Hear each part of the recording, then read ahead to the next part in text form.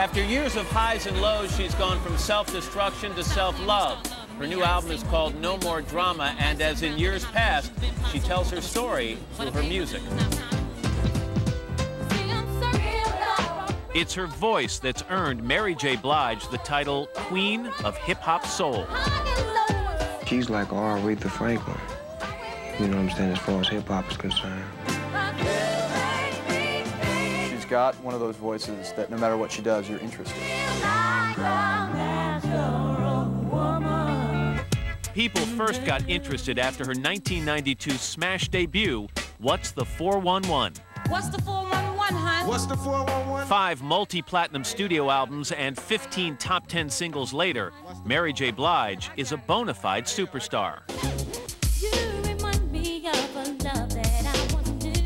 But it didn't come easy. Raised in Yonkers, New York by her mother, Cora, her father, Thomas, a jazz musician, left the family when Mary was only nine years old. That's all I wanna do. I was mad at him, mad at everything, mad at the world. And you reach a point where it's like, nobody loves me. But she certainly loved her family, and her financial success enabled her to move her mom and siblings out of the projects to the quiet streets of New Jersey. Still, she was plagued by self-doubt and insecurities. I didn't have any self-confidence. I didn't have any self-love. Everything was hate towards myself. So, you know, how could I have expectations for someone to love anything that I did? People think because you're singing, you got a number one single, or your album is platinum, everything is happy. You know, everything just wasn't happy. For Mary J. Blige, the more her record sales soared, the further her spirits fell. Drugs started up heavier than ever. And I figured I'll sniff my life away. I just do drugs until I drop dead. In 1994, Mary released her second album called My Life, which provided a painfully open and brutally honest look into her world. But we will get by. And I was ready to die on the My Life album. I was ready to just end it all and move on because I was really down there. You know, I was really calling, you know, calling for help. Her fans listened. My Life went on to sell more than 2 million copies. And most important, while on tour, Mary reunited with her father. We did a show in Michigan. And um, my sister said, Mary, Daddy's out there. And as mad as I was at him, you know, for so long, I went up to him and I just hugged him and cried and I was just happy, you know, that he was there. It felt like my daddy was home.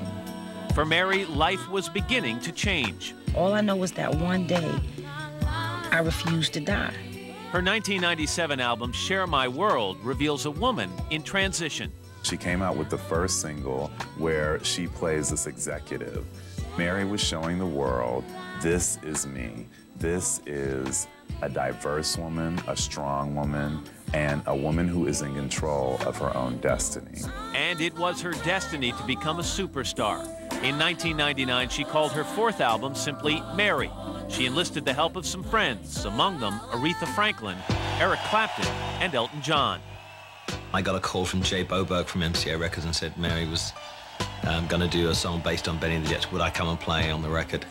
Uh, and I said, absolutely. In August of 2001, she released her fifth album. The title No More Drama comes basically from not having or dealing with anything that is going to keep me down anymore. I don't know. Only God knows. No More Drama caused quite a stir, hitting the top of the R&B charts within weeks, propelled by the number one smash single, Family Affair.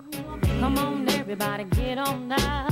Today, 31-year-old Mary J. Blige is engaged to be married, is focusing on a renewed faith in God, and living a life with more love and less drama. No